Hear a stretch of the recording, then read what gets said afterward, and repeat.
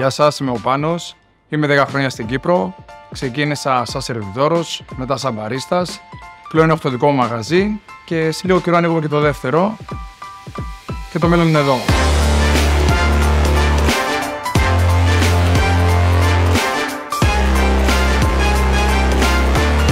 Είμαι ο Βασίλης. Ήρθα στην Κύπρο πριν 13 χρόνια και εργαζόμουν πάνω στην εστίαση σαν μπαρίστης και σαν σερβιτόρος.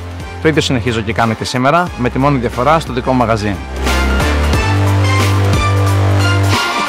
Είμαι η Χαρά και ήρθα στο Αλμάρ γιατί βρήκα ένα ευχάριστο εργασιακό περιβάλλον. Οι εργοδότες μας είναι συνεπείς μαζί μας, γι' αυτό και επέστρεψα για δεύτερη συνεχόμενη χρονιά.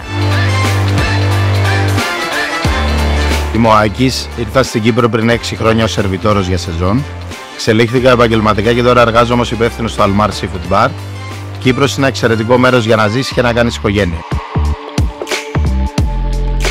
Είμαι η Παλίνα, ήρθα στην Κύπρο για σεζόν και από τότε δεν έχω φύγει. Το Last Beach Barresto μου παρέχει διαμονή ολόφρονα και τις ιδανικές συνθήκες εργασίας. Είμαι πάρα πολύ χαρούμενη που βρίσκομαι εδώ. Ζω και εργάζομαι τα τελευταία τέσσερα χρόνια στην Κύπρο, ολοκληρώνοντας παράλληλα το μεταπτυχιακό μου.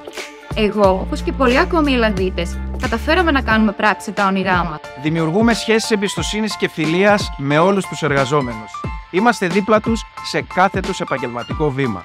Παρέχουμε υποστήριξη και συμβουλές για να αναπτυχθούν ως επαγγελματίες αλλά και ως άνθρωποι.